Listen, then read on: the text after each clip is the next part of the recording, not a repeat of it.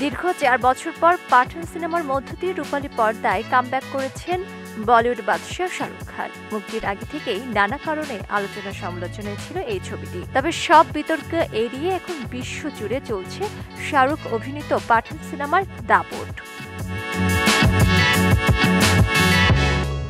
পাঠান সিনেমাটি মুক্তির পর সাপ্টা চুক্তির আওতায় বাংলাদেশে মুক্তি দিতে চেয়েছিল অ্যাকশন কার্ড এন্টারটেইনমেন্ট নামের একটি প্রতিষ্ঠান। কিন্তু আইনি জটিলতা থাকার কারণে এখনই বাংলাদেশে মুক্তি পাচ্ছে না সিনেমাটি। বিষয়টি নিয়ে বাংলাদেশ চলচ্চিত্র শিল্পী সমিতিও কথা বলেছে।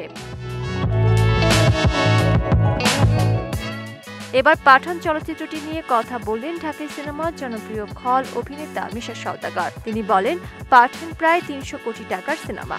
এর সঙ্গে আমাদের বাংলা সিনেমার কোনো মিল হবে না। এখন প্রযুক্তি যেভাবে এগিয়ে যাচ্ছে এবং দর্শকের পছন্দ যেখানে পৌঁছেছে সেভাবে আমরা এগিয়ে যেতে পারছি না। পাঠান বা ওই যে মার্ভেলের কোনো ছবি রিলিজ হলে কঠিন ওটা কোনো আলোচনার বিষয় না ওটা একটা আড়াই তিনশো কোটি রুপির। মিশা সওদাগর আরও বলেন আমি মনে করি বিদেশি সিনেমার সঙ্গে আমাদের সিনেমার তুলনা করা উচিত না। আমাদের বাজেট ও ব্যবসার নিয়ম নীতি রয়েছে আমাদের হলও অনেক কম তাই বিদেশি সিনেমার সঙ্গে আমাদের সিনেমার তুলনা করা ঠিক হবে না।